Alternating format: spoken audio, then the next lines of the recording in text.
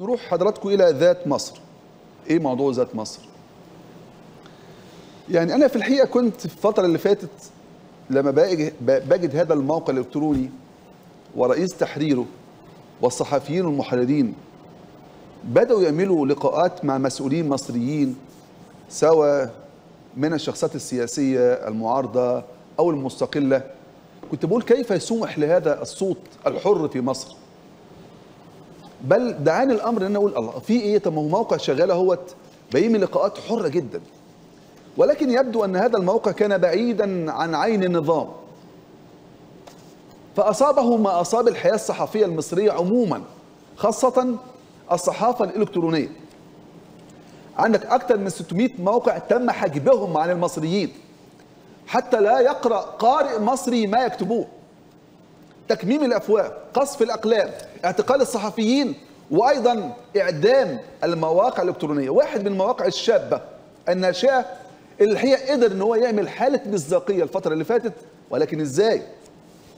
فجأة الموقع يتوقف ولكن الموقع في حالة صيانة وفي حالة ترميم ثم يحذف بعض المواد الموجودة على الموقع خاصة يعني خاصة بعض اللقاءات المهمة جدا مع سياسيين كبار. ثم يتطور الأمر إلى إلغاء تماما الموقع وصفحاته على تويتر وعلى وسائل التواصل الاجتماعي. ثم تظهر هذه اللافتة الآن مغلق للصيانة.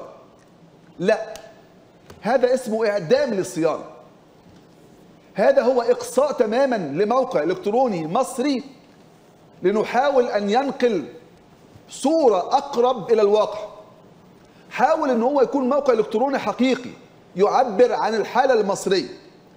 الموقع لم يفعل سوى أن هو سعى إلى امتهان المهنة الصحفية بشرف بأخلاق.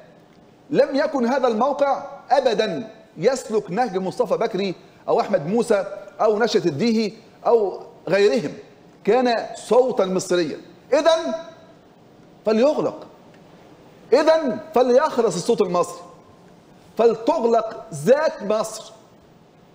يا للعجب ذات مصر.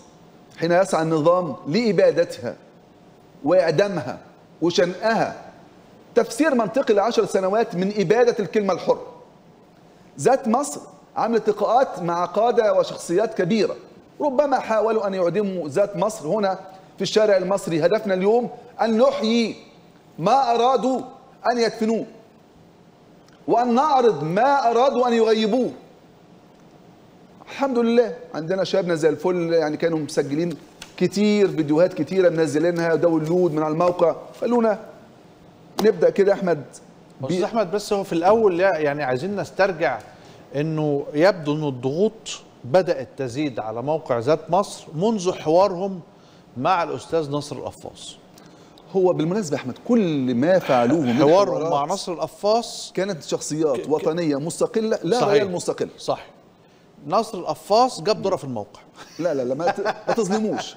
لا يعني هشام قاسم أو- ليه, ما- تقولش هشام قاسم؟ لا ما, ما عملوش مع هشام قاسم في الأول. لا لهم أخبار على الموقع ليهم هشام أخبار لكن هم الأول حوار حذف عرض واشتهر وفرقع وكسر الدنيا كان حوار آه، الأستاذ نصر القفاص. لا وقبليه يا أحمد أنا خدنا حوار الأستاذ محمد أنور السادات. صح بس نصر القفاص كان حوار جريء جدا. بس ما بس ما اتحذفش لم يطلب حذفه.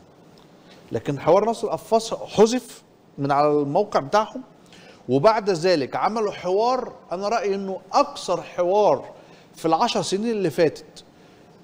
أكثر حوار من حيث الفترة الزمنية وأكثر حوار موضحا للحالة السياسية للأحزاب السياسية الحالية. كان مع مين؟ والحوار اللي حصل مع الأستاذ حسام الخولي اللي آه، هو واحد من مسؤولين حزب مستقبل وطن. بس انسحب من الحوار. بالظبط. عشان سؤال واضح وبسيط. انسحب من الحوار ما كملوش. بعد ما جاوب بالإجابة الأهم صحيح. لما سألوا الأستاذ آه، آه، معوض وقال له هل أنتوا حزب أمني؟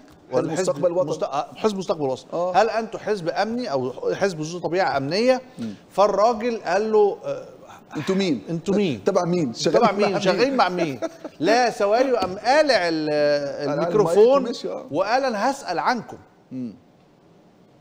بمعنى أن الرجل. آه بالظبط براءة إن الرجل يضمر لهم يعني بعضا من الغيظ. كان قيادة وفدية سابقة. حسام الخولي طبعا كان قيادة وفدية طبعا من طنطا من عندكم. صديق حسام أنا عارفه يعني بالسنوات يعني. قيادة وفدية وكان من من أعضاء مجلس لا نادي طنطا. من والله حد من اللي أعرفهم كان حد يعني محترم يعني. وما زال. آه، آه، ال- الحوار الأخير اللي قضى بقى على مضى على آسف على آه، يعني اللي قضى تماما على آه، ذات مصر وبعده أغلق الموقع للصيانة هو الحوار مع آه، طبعا الشخصية الليبرالية الكبيرة ورجل الأعمال والوزير السابق الأستاذ منير فخري عبد النور سكرتير عام حزب الوفد السابق. والأستاذ منير فخري عبد النور ده يا جماعة مش هينفع تقولوا عليه إخوان. من الآخر كده. يعني في ناس كده مش هينفع تقول عليهم إخوان. فتعالوا نشوف الكلمات النارية التي أنقذناها من آه، آه، ملف الحذف. ونشكر طبعا الفريق اللي شغال معانا آه، اللي استطاع أن يأتي لنا بهذا الفيديو قبل حذفه. ونشوف أول مقطع مع الأستاذ منير فخري عبد النور. وناس خايفة. وناس خايفة. والدليل؟ إنه اتنين قاعدين مع بعض عاوزين يتكلموا في الشان العام بيطلعوا التليفون بره في ناس قبلت آه، راي ايا كان هذا الرأي اتقبض عليه. فصل الاقتصاد عن السياسة أو السياسة عن الاقتصاد مستحيل. حضرتك شايف إن البيع حل؟ البيع الحل الوحيد. الاستثمار الاجنبي متوقف على كلمة واحدة الثقة. هذه الثقة مهزوزه مهزوزه لأنه اقترضنا زاد عن اللزوم.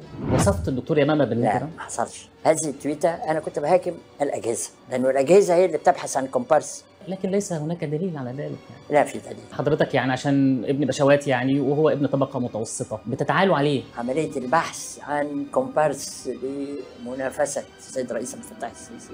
مسرحية هابطة. قلة احترام للمنصب قلة احترام للرأي العام قلة احترام للمواطن المصري. دي مين السيد عمرو موسى سماها تهريج سياسي. انبسط لما أكسب واحد قوي ولا انبسط لما أكسب نكرة. قال المعارضة ما هي من حال السلطة؟ المعارضة ضعيفة. فمن أين نجد البديل؟ هذه القوائم اللي بيضعها هي الأجهزة اللي بيختار الفرد اللي على القائمة. هي الأجهزة. وبالتالي ولاء الذي ينتخب النائب للأجهزة التي اختارته وبالتالي يتلقى تعليماته وتوجيهاته. كلام وزير سابق جداً. عارف يعني- أو سياسي سابق سكرتير عام حزب معارض سابق عارف يعني إيه انتخابات. نزل انتخابات نفسه عضو برلمان سابق آه، آه، يعني معجون سياسي.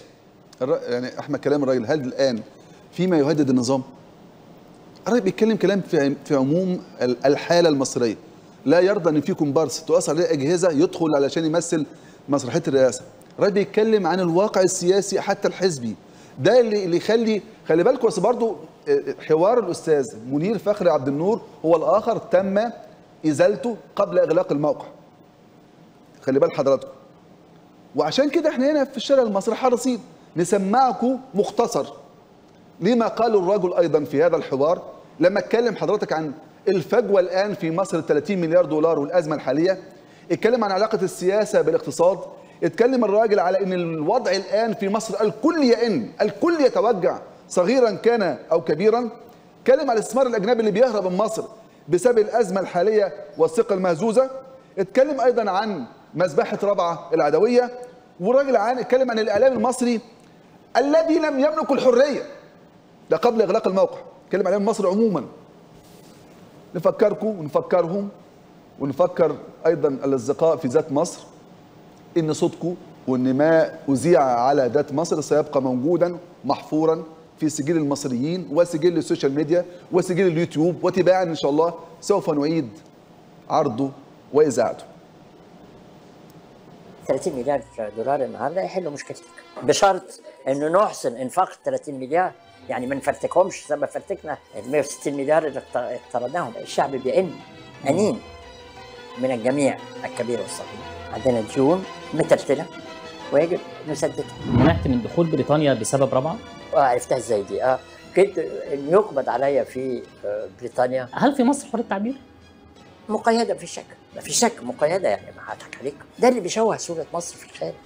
هل مصر يمكن أن تفلس؟ البراند بتاع مصر إيه النهارده ما هواش في أحسن ظروفه وأحسن أوقاته؟ هل حضرتك شايف إنه الشعب المصري ممكن يتحمل مزيد من الإفقار؟ ممكن يتحمل. ممكن يتحمل. وممكن ما يتحملش؟